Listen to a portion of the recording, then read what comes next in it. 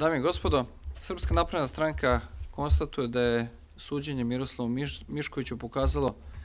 da Srbija ulazi u red pravno uređenih zemalja. Međutim,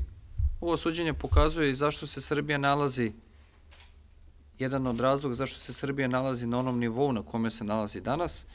i očigledno je da je uticaj tajkuna u ovoj zemlji koji su bili u sprezi sa vlašću i sa političarima bio ogroman u prošlosti, a da je njihov uticaj koji se proteže i na određena sredstva informisanja i na određene poslove i dalje prisutan. Videli ste i da će se obestiniti one reči koje, o kojima je govorio Aleksandar Vučić kada je rekao da će se svi ujediniti da zaustave borbu protiv korupcije i kriminala